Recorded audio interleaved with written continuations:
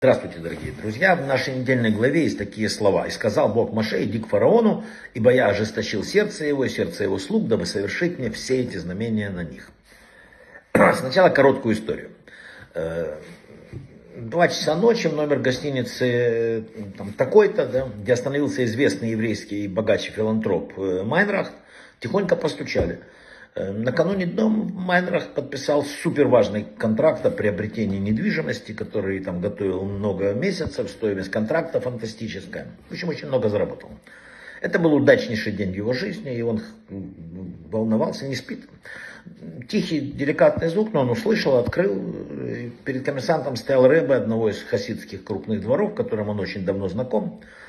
Ночь, но что привело его сейчас за полночь? Рэбе виновато улыбнулся и говорит, Гавриль, я хочу сказать тебе мазлтов. Я услышал, какую сделку ты хорошую заключил, пусть тебе сопутствует удача. Да. Ну, Габриэль хорошо воспитанный, он говорит, что Рэбе, заходите, давайте маленький лыхами сделаем. Он говорит, чего маленький, давай делать лыхами. Габриэль посадил старенького Рэбе в кресло и слушал где-то 15 минут печальный рассказ о тяжелом финансовом положении, в котором община нет денег для зарплаты учителям Торы, многие семьи ну и так далее. Того. Габриэль сочувственно выслушал монолог Рэбе, вытащил чековую книжку и достал, подписал чек на крупную сумму. Это было щедрое пожертвование даже с точки зрения такого выдающегося филантропа, как Майдрахт. Вручая чек, э, Рэбе, он робко сказал, я готов помочь Рэбе в любое время дня и ночи.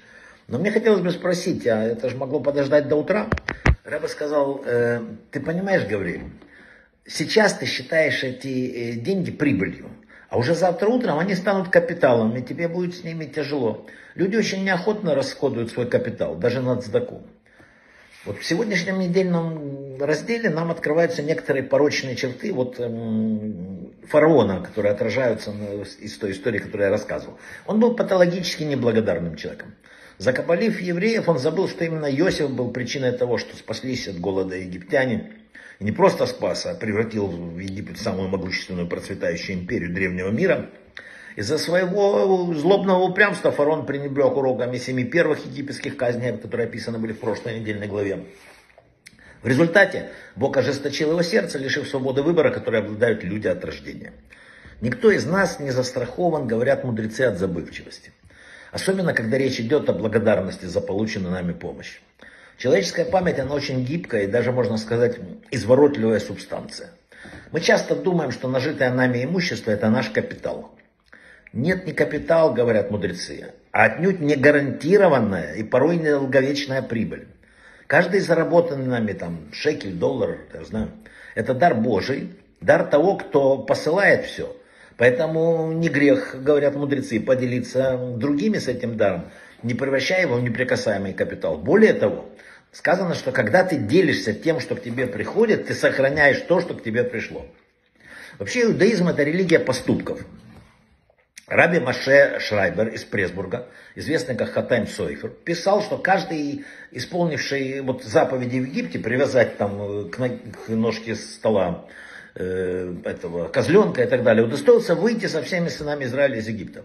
Всякий, кто не захотел исполнить их, не удостоился и остался в Египте.